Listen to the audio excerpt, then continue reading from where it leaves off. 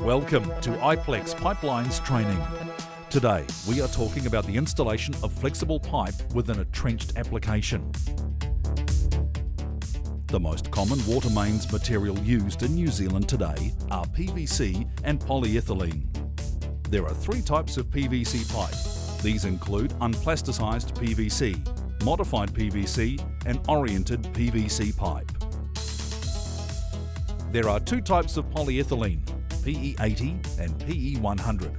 PE80 material is used to manufacture smaller diameter pipes. PE100 is generally used for pipe diameters greater than 100 millimeters.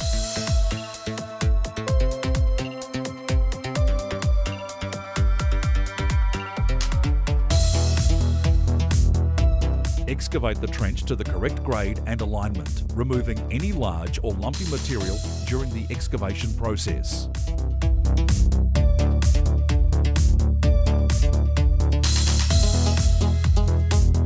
Place the backfill material into the foundation of the trench and spread evenly using a rake.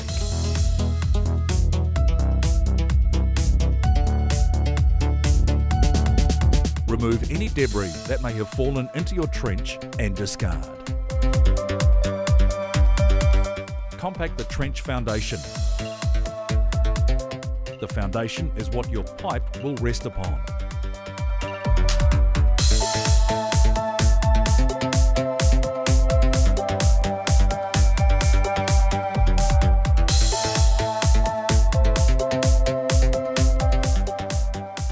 The back of the shovel to rest the pipe on.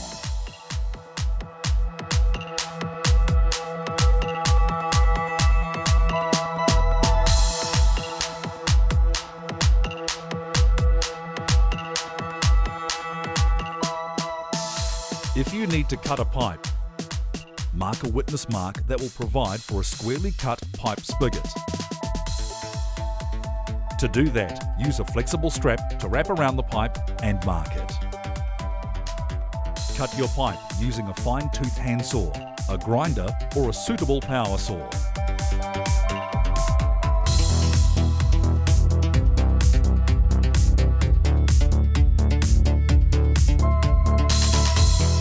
A factory-made pipe chamfer is machined to half the pipe wall thickness at a 15 degree angle. This can be remade using a rasp or for large pipes using an angle grinder.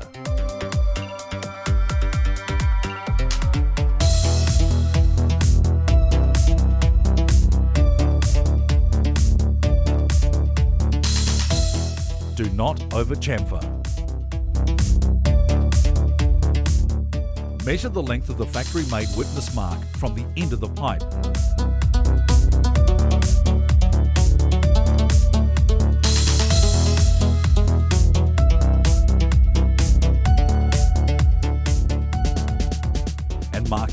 Witness mark using your flexible strap.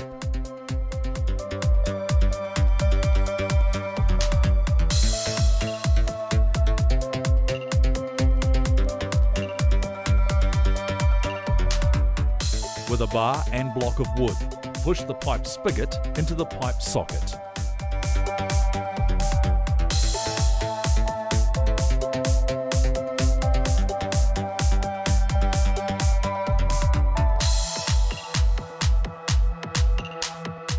The witness mark must remain just visible.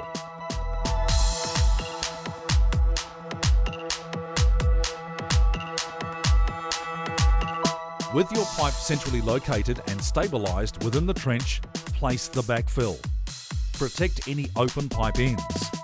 The backfill material used for any plastic pipe should be no larger than 20mm stone. Graded all passing 20mm or GAP 20 as it's more commonly known is often used.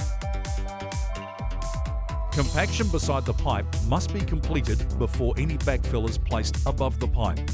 Side compaction can be achieved by hand tamping or other mechanical means. Lubricate the gasket on the front face only. Also lubricate the pipe spigot up to the witness mark, particularly on the chamfer.